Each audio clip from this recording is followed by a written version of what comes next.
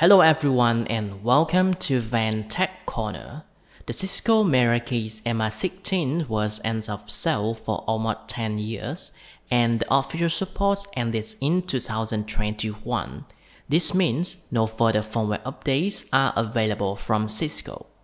Fortunately, we can install the latest version of OpenWRT on the Meraki MR16 and bring it back to life.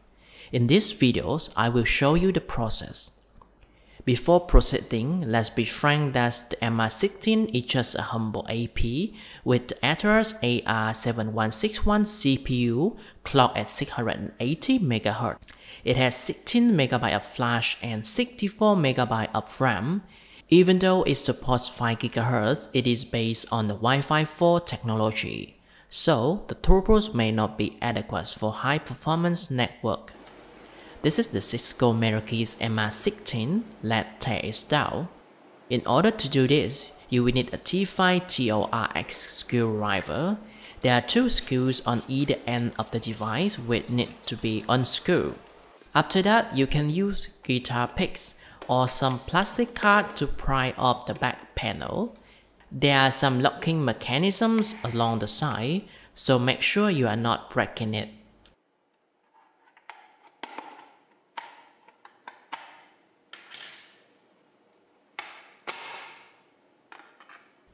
Right, let's remove the PCB from the metal casing.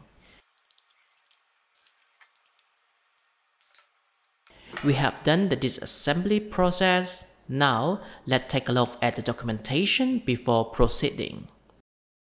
This tutorial is based on the official guide from openwrt.org. I will put the link in the video description so you can check it out.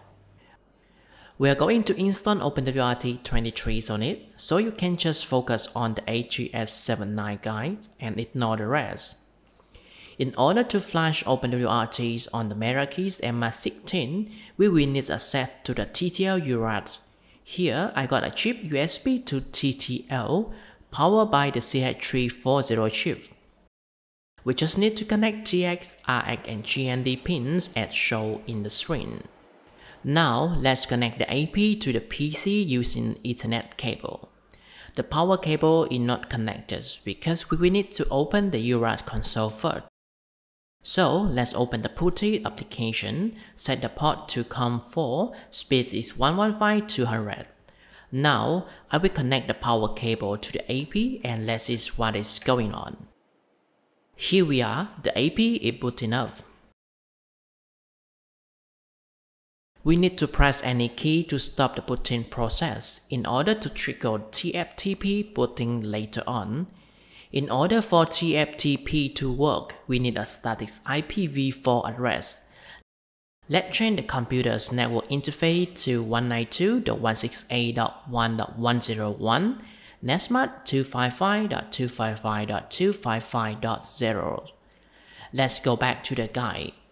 Here, we will need two files. One is the factory image or the initial RAM disk and the system upgrade image. Let's download it first. Let's open the TFTPD64 application and copy the OpenWRT initial RAM disk to the application folder, which is C program file TFTPD64.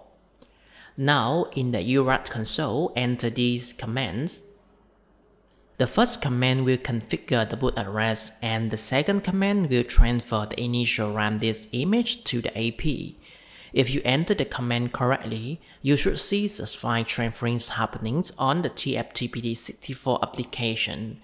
The file name is very long, so we can just copy and right click in the terminal to paste it. All done. Now, let's type in the third command to boot the OpenWRT initial RAM disk.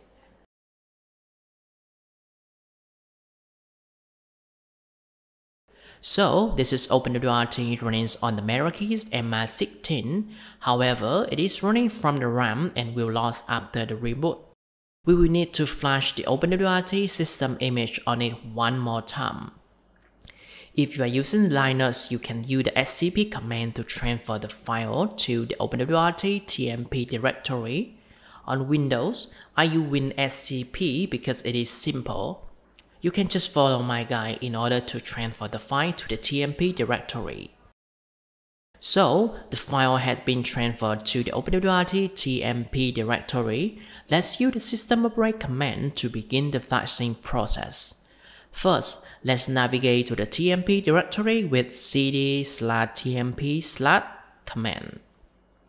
And then, let's use the system upgrade dash n followed by the system upgrade image file name to perform the system upgrade. You just need to type OpenWRT and press tab. It will automatically fill in the file name. It is good. From the console, we can see that the OpenWRT is being flashed to the MR16 flash chip. You may be wondering how it is speeds of the old school MR16. Well, let's check it out. The MR16 had two radios. It supports 5 GHz but only on the Wi-Fi 4 standard, so I assume the speed will not be fast. Alright, let's configure a static IPv4 address for the AP and connect it to the upstream router for testing.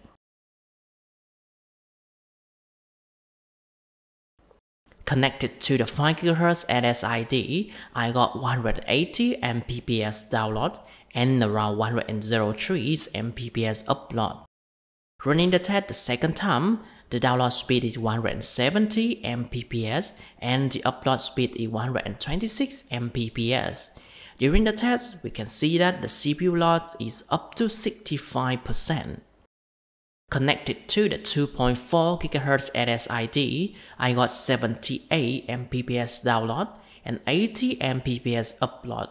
This speed is typical for the 2.4 GHz Wi-Fi. Alright, so that's all we got from the Meraki's MR16. Even though the speed is slow, we can still configure fast roaming and even mesh networking with all the OpenWRT routers. In case you need a Wi-Fi 5 AP that can run OpenWRT, please stay tuned for my next video. So that's really all for today. Thanks for watching and see you in the next one.